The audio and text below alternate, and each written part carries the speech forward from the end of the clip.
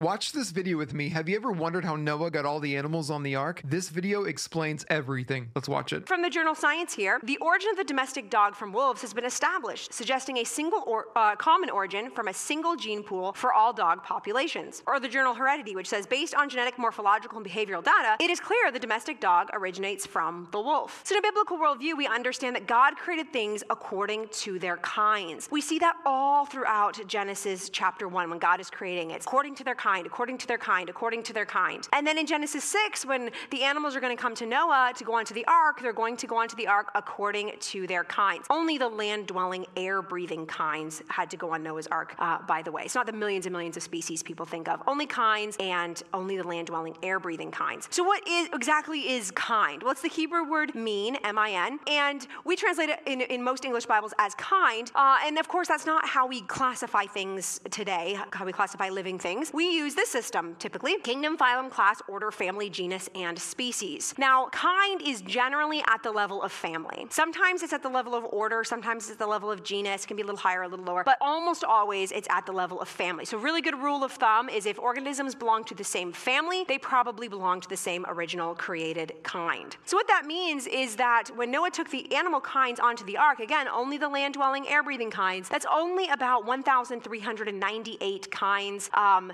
that that had to go onto Noah's Ark, including the kinds that have since gone extinct. Uh, so that's less than 7,000 individual animals when you account for two of every kind, seven pairs of some. So not that difficult to fit less than 7,000 animals onto the absolutely massive ark that God instructed Noah to build.